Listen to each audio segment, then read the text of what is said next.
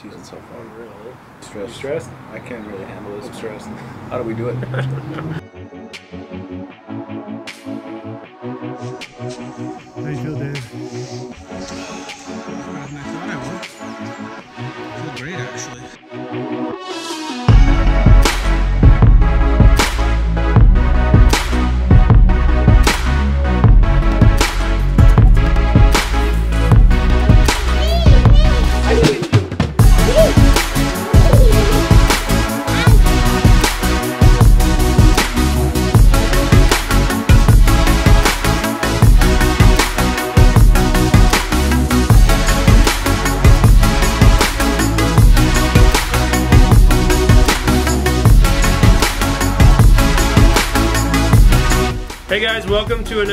episode. Um, this is John Lemansky with Biohack MD. I'm here with my good friend Dave Korsunsky with Heads Up Health. What's going on, Dave? Another great day here in Tahoe. Yeah, so we're here in Tahoe. We're going to be talking a little bit uh, about cold water exposure today and uh, some of the health benefits associated with it and some of the research behind it. So I convinced Dave to jump in Lake Tahoe, which is uh, 48 degrees uh, right now. I hate cold. I have no, I, no idea why Yeah. I agreed to this, but I am about to jump into 40 degree water. The things we do Just because my buddy John asked me to do it, Yep. but other than that, I hate the cold. So I'll probably be uh, jumping out after about two seconds. Probably. We'll see how it goes. Probably. I'm on camera, so I'm gonna have to tough it out a little longer. Well, we'll do a time lapse, so it seems like a lot longer than it Make me look good. Yeah. so yeah, we want to talk a little bit about uh, cold water exposure, different ways to do it, some of the historical perspective, and, and why it's so important as part of your biohacking repertoire, and specifically when you're in ketosis, why it's beneficial. So um, why don't we start a little bit about historically why Yeah. cold water exposure was so important? Yeah, we talked about this. It's Mhm. been used for thousands of years. thousands of years. Yeah. now seeing a resurgence in the biohacking community, we actually now we're talking about we have ways to measure it, which didn't exist before. But Right. what's the history that we can? Yeah, I mean, you can here. you can go back thousands of years, like you mentioned. The Romans were one of the first ones that you can actually see documentation of them, and they called it Frigidaire baths, which basically is you know cold water uh, immersion. And it seems like the more that biohacking is becoming into the mainstream, the more we're realizing that a lot of previous cultures actually did all this stuff. Yep. They didn't call it biohacking. They didn't know the actual data behind it, but they knew that it made them feel better, it improved health, and so now, with all the science that we have to actually look at why this works, we're able to come back full circle, actually measure why um, you know cold water right exposure here. is important. And there's a lot of studies now coming out on you know obviously rodent models, but some human models that are actually showing tremendous amount of benefit for us. So I think we kind of delve into that. Also, you know, the Nordic people have a long history of basically using cold water exposure. In the winter times, they would break through the ice, jump in, Yep. and you know most of the craziest people I know now are still doing it out in the, the Nordic countries. Yeah, I, I, I grew up in a small town up in central Canada and was back there this winter, and they have Yeah. a Nordic spa that opened up Yeah, in you were telling me. in Winnipeg, and it's 40 degrees outside. And the way they do it there is you'll actually go into a wet or a dry sauna, Mhm. build up the heat in the body. Yep.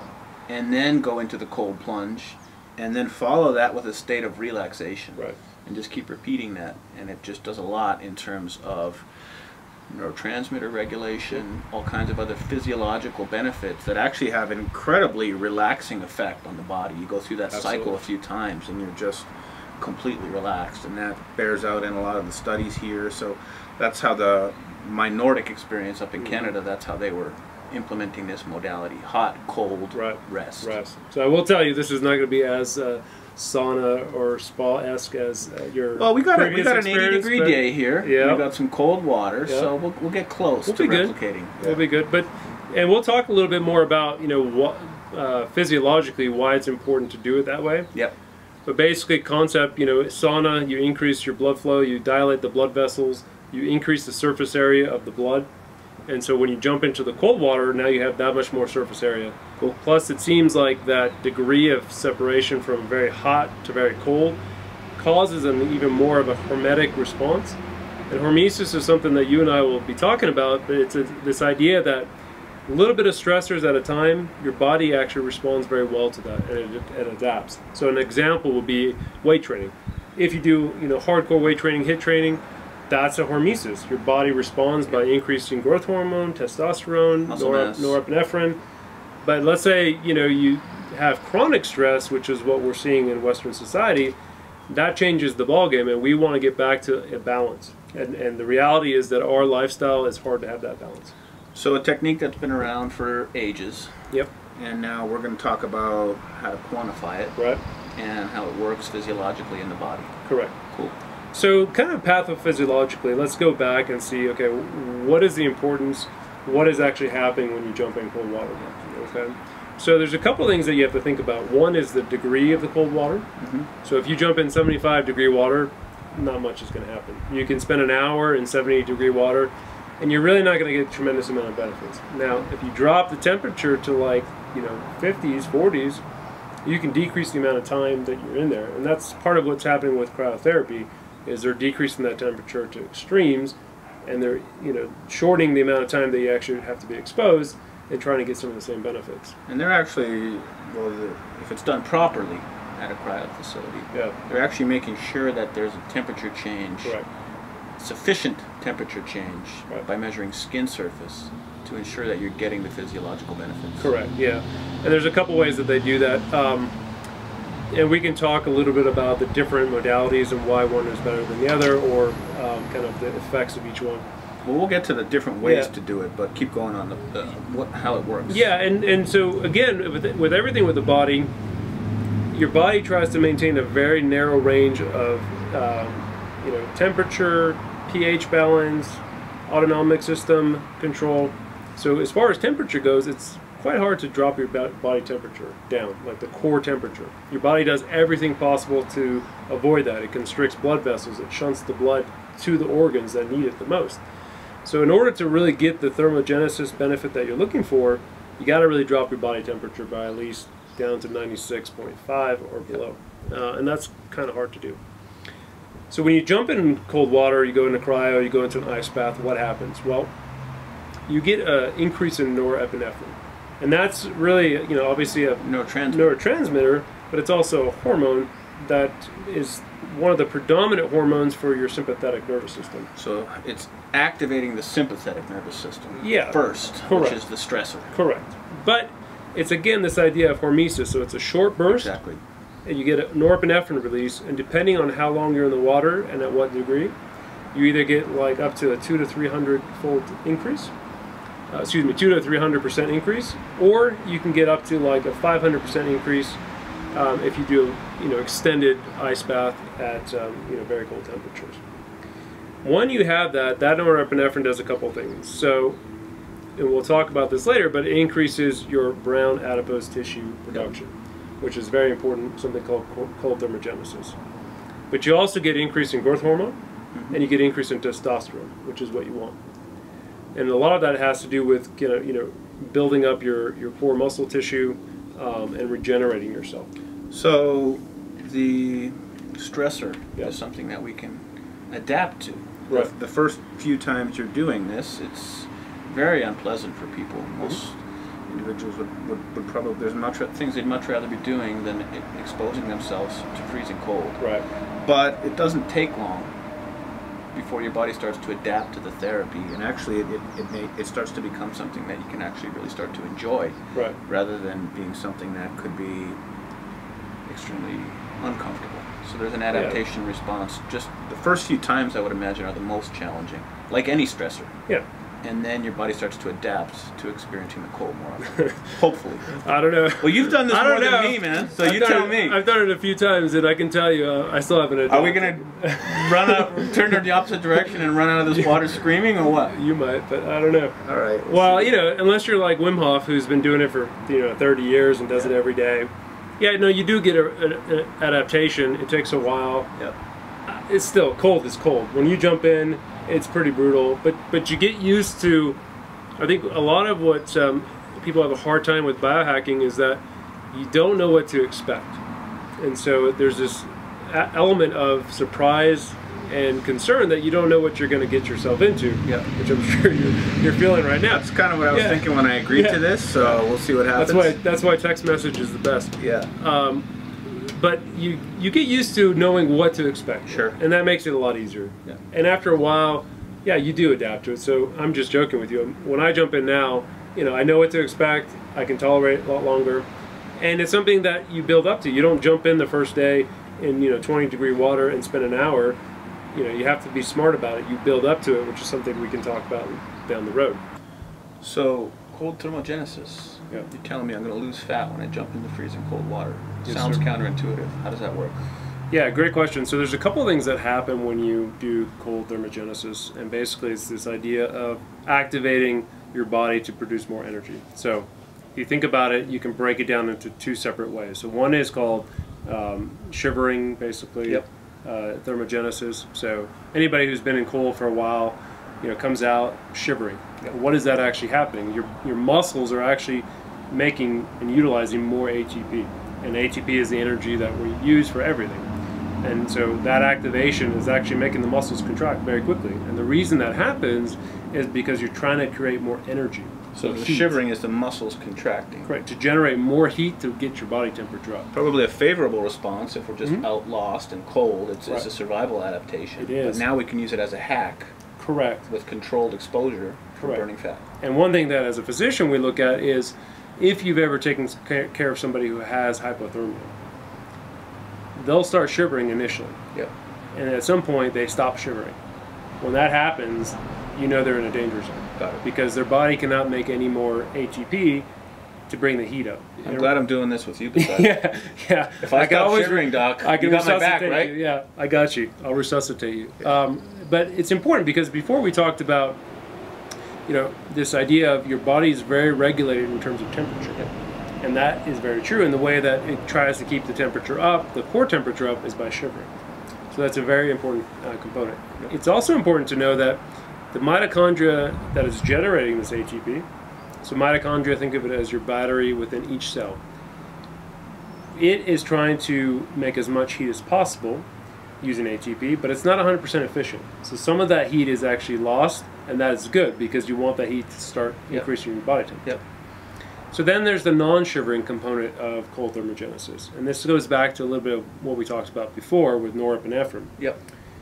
If you think of your mitochondria as a battery, which you can, you have a polarity. So any any battery has a polarity. You have a negative component and you have a positive component, and it's that shift in ions that actually generate uh, electricity or power. In the cell, it's no different. The inside of the cell is very negatively charged, and the outside is very positively charged. And the cell uses that gradient in order to do all its functions. When you jump in cold water like that, you do something called decoupling. And, and the reason that that happens is because you generate something called UCP1, which is a protein that actually decouples the electron transport chain. So if you actually look at generation of ATP through the mitochondria, it's not just one reaction, it's actually a cascade of reactions. And through that, you generate electrons. When that happens, your body wants to recouple, and so it uses a lot of energy in order to try to get that gradient to come back. Restore equilibrium. Exactly. And that is also part of the contribution of making this brown adipose tissue, which people talk about, or BAT, which is this type of fat that is very different from visceral fat, it's very different from subcutaneous fat, in that it generates heat as a byproduct of its um, function. And we can use that to our advantage because why can a guy like Wim Hof go up and climb to the base camp of Everest in shorts?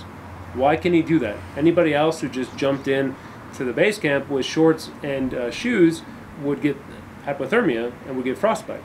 He can do that because he's trained his body to make more of this brown adipose tissue, and by doing that, he actually is able to create more energy and not uh, be hypothermic. So visceral adipose tissues, subcutaneous, these, these are inflammatory tissues in some cases, but the one Yeah. you're talking about is actually a favorable adaptation. Correct. And and so when you're born, babies have brown adipose tissue. It's how they maintain their body temperature because they don't know any better. They, they don't put on a sweater. So they have to have this adaptive mechanism. As you get older, we've always thought that that brown adipose tissue goes away. And in a sense, it does because we're always in a controlled environment. Absolutely. We don't go and do hormesis. We Yeah. don't jump in the water unless you're crazy like us. Yep. More people are starting to do it because they see the Borderline benefit. crazy. Well, I'm certifiable crazy. you might be borderline, but um, speak for yourself. So, the more that we're learning about the benefits, the more people are going to realize, okay, I can maintain my brown brown adipose tissue Yep. and get the benefits from it. Awesome. And so that is something that we would like to show. Yeah, this is important, helping you Yeah. understand why you want to do this. What Yeah. are the physiological benefits that Right. you're going to get as you start to expose yourself? We're going to cover how you can quantify this later. Correct. But understanding this biological process is important in terms of how it can help us produce this favorable type of fat Absolutely. adaptation. Yeah, and we're just hitting the surface. Yep. One other thing that's really cool, and we've talked about this before, is that we are at a time where because we can quantify things, because we can do research on things, and because there's interest in it, Yeah. people are realizing the absolute benefits to their health from doing all this stuff. Yeah, so John, we covered a lot of the physiological benefits about the way this works. We talked a lot about inflammation, Yep. about fat burning. Anecdotally, I know that a lot of professional athletes, after a football game, a competitive sport, will soak in ice bath. Mm-hmm. So, who should use it in terms of just general healthy people? Also, which chronic conditions would respond most favorably? And then, most equally important is who shouldn't be doing this and why? Yeah, and I think we start off with who shouldn't because I think that is something that a lot of times is missed.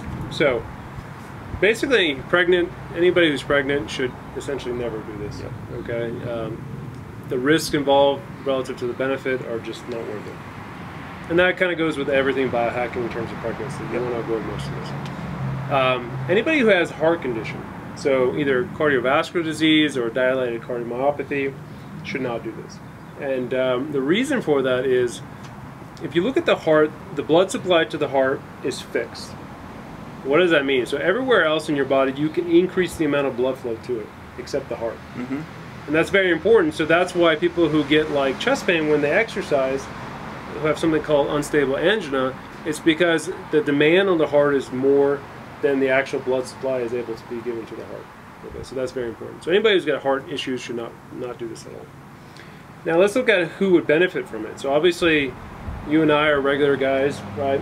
I'm thinking about this in terms of the longevity. Yep. Also trying to make sure that my muscle soreness goes down, Sure. my inflammation levels go down.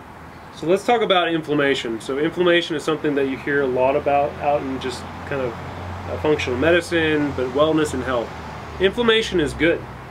So inflammation is, is a necessity. You break your ankle, you want an inflammatory response. That's how you heal. You know, you get sick, you want that inflammatory response. But what happens is that we are chronically exposed to in, inflammatory processes. So we're always chronically stops. inflamed. Yeah, exactly. From our food supply to our air sources to our water to our daily lives, our stressful lives. Like here, we're very, very stressed. Very difficult. We're increasing our yeah. inflammatory I- markers, I, I, right? I need a vacation after. You- are you stressed? Yeah. Yes. Very difficult. So, so we want to kind of get that under control. And cold water therapy, cold thermogenesis, has a very important uh, component in decreasing overall inflammation. So any any inflammatory, any conditions Yeah. related to chronic inflammation, Correct. would that include autoimmune disease? autoimmune diseases, exactly. So it's been shown in studies that when you do these kind of cold water immersions, obviously you can't just do it once and expect to get a huge response. But if you incorporate it into your biohacking lifestyle and you do three to four times a day, you know, at least five minutes at a time, you decrease something called TNF alpha. Okay, and that's one of the most major um, cytokines, basically, that control inflammation. Yep. And again, you need that, but you don't want it to be overexpressed. So you So repeated decrease cold that. exposure can reduce. You reduce that. TNF. Correct. You also get something called um, mitogenesis and autophagy, which we've kind of talked about before. So autophagy is basically kind of the, the hoover of um, the, the, the body. Basically, you're able to get rid of all the old cells, get rid of all the junk, Housekeeping. the protein, all the dead cells, Yep. get rid of them, and make new ones. Similar to fasting. Correct. Similar to fasting. And now, if you combine the two together, I mean, it's like a supercharge. And then layer on some keto and Yeah, and if you do that while you're in ketosis, you're also getting a supercharge effect because when we talk about inflammation, you get something called reactive oxygen species. Any chemical process, the end product usually will get CO2, which you breathe off, and then you're going to get reactive oxygen species where actually they're going to modulate the inflammatory response. By doing cold water immersion, you actually decrease the amount of production. The other thing that happens is your immune system gets stronger. So you get a more diverse immune system. Yep. You get better T cells, which are a, a part of the immune system that really attacks mostly viruses. So you get a more diverse immune system, and it's uh, something called immunosenescence, which is basically this production of new immune cells that are ready to go. So if you get a cold, it's going to attack it. If you get a bacteria, it's going to attack it much more effectively. And then you get something called mitogenesis, which is basically you make new mitochondria. They're better, there are more of them, and they're stronger, and they produce more energy for you. Cool. So what about from a metabolic point of view? What about someone who's working with a metabolic Yeah. disorder, whether it's insulin resistance or diabetic types of conditions. Right. or other conditions related to a deranged metabolic system? Yeah. So if you think about it in terms of chronic illnesses like diabetes, metabolic syndrome, what happens is you get a chronic elevation of cortisol level, Mm-hmm. chronic elevation in in norepinephrine, and then you get a chronic elevation in insulin. So cold water immersion has been shown to actually increase insulin sensitivity in the muscles, Awesome. which makes sense because you actually need insulin to shunt glucose into the muscles in these receptors called GLUT4 receptors. So you get more of them, insulin becomes more sensitive, and you drive all that sugar into the muscles. So you decrease your fasting glucose, Yep. which is something that any diabetic is searching for. Yep. right? Now, if you do it while you're in ketosis, it's even more beneficial because you decrease your amount of insulin production, you decrease the amount of glucose spikes, so you get better glucose sensitivity and better insulin sensitivity. We've talked a lot about being in ketosis on our last segment, Mhm. how you can measure it. I think it's starting to become very commonplace now. So it seems like combining it with Yep, cold immersion is an even more powerful combination. it is Awesome. because you know you get less reactive oxygen species from using ketones as your energy source versus glucose. Cleaner burning. You get more ATP production, Yep. and then you can use that ATP production to actually do cold thermogenesis. So, So- autoimmune, inflammatory, athletic recovery Yeah. purposes, any other core conditions or use cases that think respond most favorably here? Well, I think it's important to talk about exercise because when you think about exercise, there's a couple things to think about. People think that if you, let's say, go and go for a run and you jump right into an ice bath, that that's going to help decrease inflammation mm-hmm. and help with recovery. And in a way, that's kind of inaccurate. What you want to do is actually get the growth hormone and testosterone boost that you get from exercise. So if you delay it by about an hour and then you jump in to like a lake or an ice bath, then you really get the benefit Okay. of the cold water immersion. Great. Okay. Now, when you're talking about endurance athletes, they tend to get some of the most benefits from this. And it's been shown that you can increase the amount of power output by about 25%. You can increase the, your duration of exercise and your recovery, obviously, which makes sense. Probably reduce wear and tear too that it Yeah. comes with endurance Right. sports. And because you want that some inflammatory response, but you don't want it to be excessive. So you Yep. want to have the growth hormone, testosterone boost, Yep. and then you want to basically shut it down Cool. and get the recovery. Cool. And if you've ever done it before after a hard workout, your joints, your muscles, you know, as you get older, like me, not you, but me, Getting there. you start feeling it, Yep. right? So if you go out for a ski session or you go out for a mountain biking session, everything hurts. Jump in an ice bath, you feel amazing. Well, we'll be doing the mountain bike session later this summer, so we will follow it up We will. with a jump in the lake. Pace yourself. Yeah, all right. Pace yourself. Let's do one and let's see if you come back. Well, thanks for the breakdown on like which conditions are most Right. beneficial, Yeah. who shouldn't be using this, etc. Yep. So amazing breakdown on how all this works, Yep. the physiological benefits, who should be using this, who shouldn't.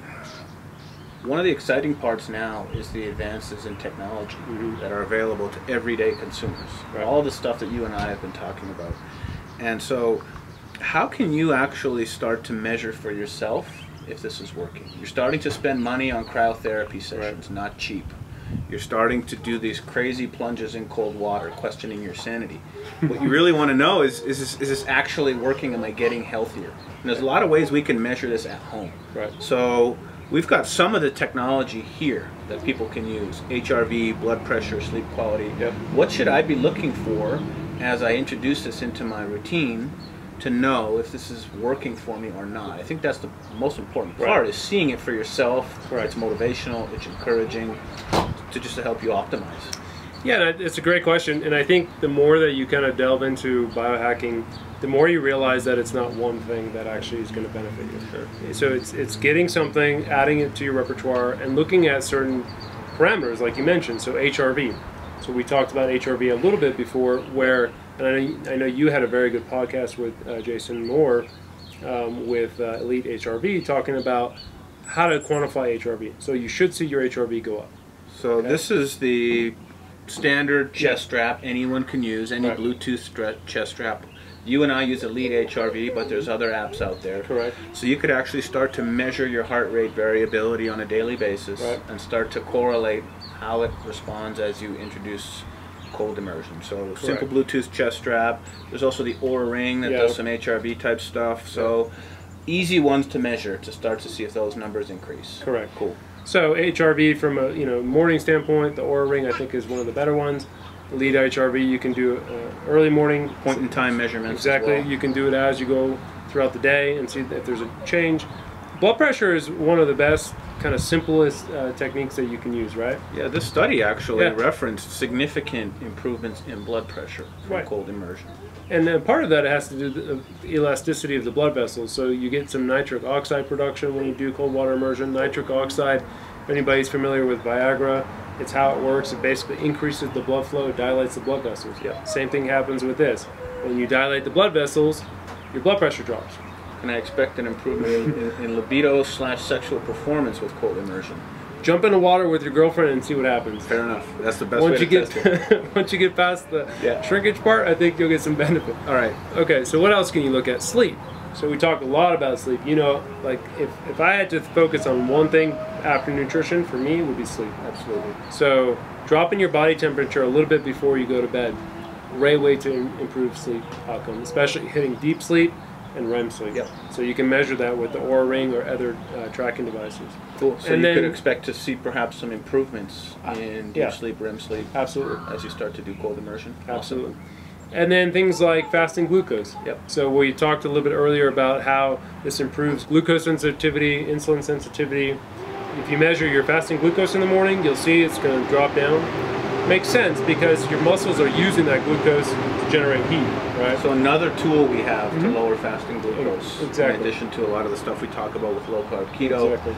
another way we can lower those numbers. Right. Cool. You can drop your insulin too. Yep. and then insulin and then you can look at. exactly and then you know obviously fasting ketone levels you should see an increase And what about body composition? We talked about the way that brown fat actually helps Right. with metabolic response in terms of uh, improving the way we, we, we can burn fat. So Right. would you expect if you were tracking, for example, lean mass, fat mass, Mhm. as you go onto a program like this, would you start to look for changes there as well? You will. In terms of actually quantifying the amount of brown adipose tissue, it's going to be hard to do that with what we have. What about Yeah, just like but lean you can mass, look fat at mass, yeah. DEXA scan type stuff? So what you really want to get rid of is the visceral fat. You know, people obviously don't like Which the is organ fat, Organ right in here, Right. that is highly inflammatory. Yeah, it's the metabolically active um, fat that actually, if you actually look at people, sometimes you'll see like that big beer belly, but skinny everywhere else. That fat is actually squeezing on your organs, and it's creating a whole bunch of pro-inflammatory cytokines, and that's really the dangerous fat. Yep. And so, what you can do is, like you mentioned, DEXA scan. You can do a body impedance analysis, and you can measure the quantity. And what you'll see is that as you do this, obviously, making sure that your nutrition is, is dialed Lots in Lots of variables, but all your other- help but let's part of the say equation. yeah assume that everything is dialed in and you're going to add this to your repertoire you will see decrease in adipose tissue specifically visceral fat Cool. you, you know if you do it long enough and, and frequently enough yeah you'll see subcutaneous uh, fat go away as well Yep. um, but that's not as important Yeah, I know the only the only technique I've seen that can actually start to quantify visceral adipose Mm-hmm. tissue is a DEXA scan, and they have a way of deducing changes in visceral adipose tissue. But if, if not, you can just use other body composition metrics. Mm-hmm. They're if you're seeing fat mass go Yeah. down, lean mass go up, you can infer that you're also starting to reduce some of the inflammatory fats absolutely as well. simplest test belt buckle test you'll see your belt buckle you go down a notch Yep. that's simple you can obviously use you know total body weight which i Your, don't your, like your favorite pair of pants, you know, there's always They that pair of pants that you used Yep. to be able to fit into. Those are Yeah. probably one of the best tools That's we right. have with all this fancy technology. Is just That's right. can you get that pair of pants on? Can, can you get those uh, those point? velvet uh, 1970s pants on, those retro pants? If you can, you're doing well. No, but other things like you know, if you're in a research setting, uh, setting, you can do MRIs, you can do PET scans to Yep. look at you know, fatty liver disease, you can look at the visceral fat. But in terms of like realistically, how you and I, average Joe on the street, going to be able to quantify this, yeah, you can look at your belt buckle. You can look at, you know, just simple pinch tests. You know, those are very Calipers. they can be accurate if you know how you're doing it. DEXA scan, body impedance analysis, tremendous amount of information. Cool. So that's so a lots good of way ways to start. quantify it. That's probably the most exciting and motivational so. part is when you can start to see sleep improving, blood pressure coming down, and quantifying it for yourself with instrumentation that's Mm-hmm. available. That's the most exciting part is, is Yeah. seeing the improvements in the numbers as you adopt these changes. So I think those are some great things people can measure Absolutely. And I think what's important also to highlight is that, okay, so one of the biggest issues that I think people have is I have so many tools Yep. that I have to use in order to get the data. Mm-hmm. What one thing that I really think is important is to have that data centralized and in graphic forms where you can actually visualize the trend change. You Well, want to see that could build trend a change. system like that. If some be incredible. genius could do that, I think we would be a trillionaire. I happen to know somebody. Yeah. So one of the things I love about Heads Up Health, and this is a shameless plug, but I think it's important because you can take all this data, put it into your system, and basically have amazing data to look at and trends. So why don't you talk a little bit about Yeah, that's how why you I get built it. Yeah. What is the the benefit of Heads Up So Health? for those who are not familiar, Heads Up Health is a website that I developed myself, mm-hmm. and what it's intended to do is help you measure all this stuff, Yep. and have years and decades of metabolic history, all of your lab tests in one place, all of your heart rate variability, so that you can actually start to, as the individual, understand what changes work, what changes don't. right. So for those who want to start tracking, all the stuff we've talked about here, everything integrates into one central website for you. And then it's not that hard. Once you have the information, you don't mm-hmm. need to be a doctor or a biohacker or a rocket scientist to say, okay, I've got an inflammation number that needs Yep. to go down. If I do the cold immersion, does inflammation go down? It's Right. really grade school mathematics to start seeing if these changes work. But like you said, you just need a place to manage it all. So that's what I'm working on. That's my contribution at Heads Up Health. So easy way to quantify all this stuff and then share it with someone like Right. yourself or any health expert Yeah. to say, am I doing this properly? Is my health improving? And what I think is really cool and what I'm excited about is getting to the point where you have so much data from people doing this to show correlation. So right now, you know, you can say, well, I think this causes this, but if you have you know, this huge range of data Yep. showing, look, these people are doing cold water, water immersion for a certain period of time. These are what the markers have done. Yep. Then you start really generating real science Yep. that we can use, take back and, and show physicians, medical practitioners, look, this stuff works Yep. this is what we can show you. Now go out and do the real randomized controlled trials so that as physicians we can say you should do this. But that's where I think a lot of the benefit is from. Absolutely, yeah. If we can give the average individual ways to say, yes, this is a very statistically significant Right. improvement, and we've calculated that improvement for you, actually Right. shown you the correlation curve. Exactly. and you have the evidence for yourself. Just by entering some simple data, the system can tell you that there's a very strong correlation here. Mm-hmm. Take that back to your healthcare professional. And then, like you said, starting to do that at scale. Right. Now we can look at tens of thousands of people. That's where the information starts to get really powerful. Absolutely. I'm excited to see, you know, how this is going to attract going forward. So All right, enough talk. I think uh Should we jump in? I think it's time to jump in. No more no more stalling. I can't hide anymore behind the camera. We're going to have to go jump in the water. Let's do it, brother. All right, let's do it. All right, we'll be back after we jump in the water. Hopefully. All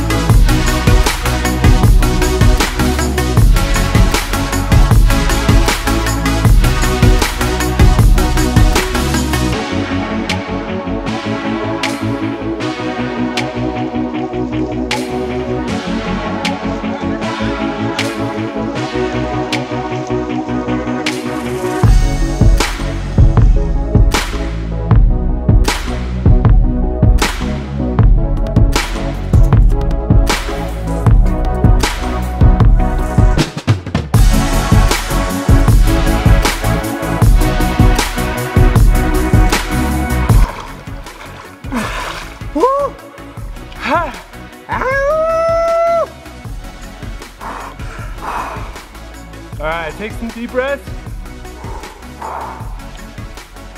Feel the burn. What is this, 40? 48 degrees. See if you can put your arms in. Try to slow your breath. Try not to move too much. And then just kind of focus on your, your environment, dude. All right, good. Only one hour to go. Why did I sign up for this?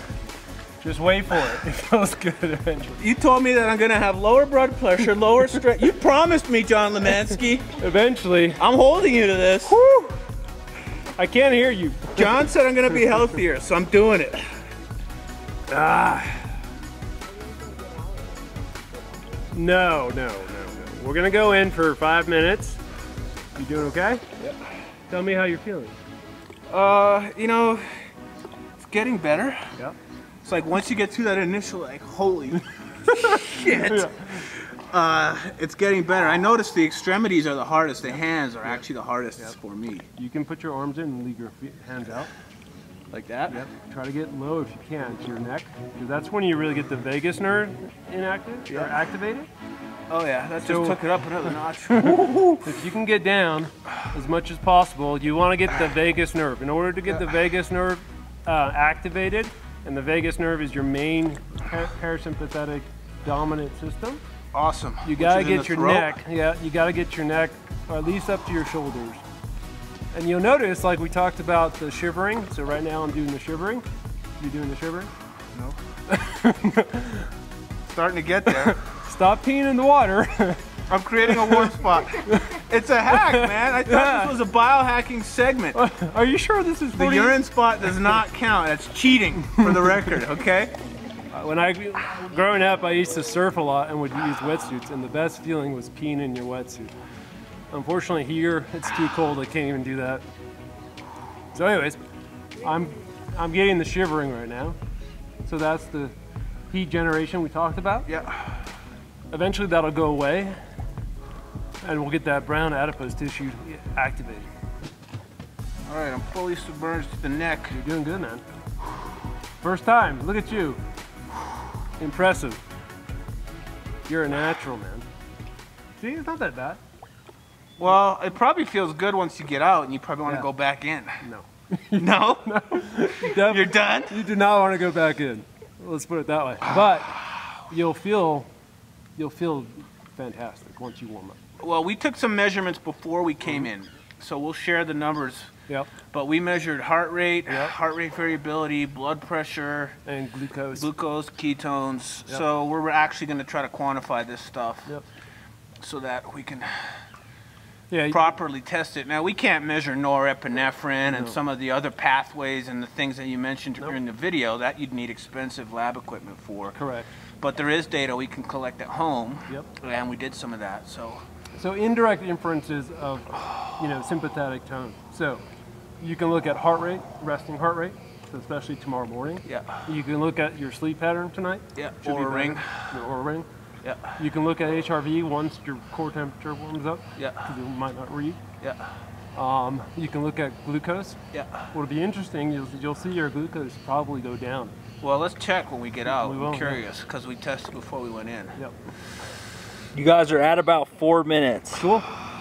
I'm feeling good, man. Yeah. I feel pretty good. You guys having some shrinkage? Way past that Testicles point. are way up Way inside. past that point. Yeah. I have a new Adam's apple. Yeah. ah. Look around there, man. Turn around. Look at that. If you're gonna do it, this is the place to do it. Look at that. Are you guys stressed? So stressed, man. It's not easy. Are you stressed? It's really not easy. I don't recommend this. Tahoe sucks. Tahoe is amazing. Yeah. Thank you, Tahoe. Cold immersion. It sucks. Ah. Now, here's what you do. We're good? All right, five minutes. We did it. We did it. Congratulations. All right, guys, that's five minutes. That's enough for right now. Thank you. Whoo! Let's warm up. All right, call the paramedics. All righty. Woo! Yeah. And you do like a bird.